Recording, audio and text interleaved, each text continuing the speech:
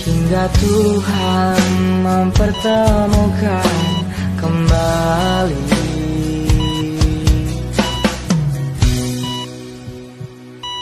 Tenanglah sayangku di sini kan selalu di sini hingga ku.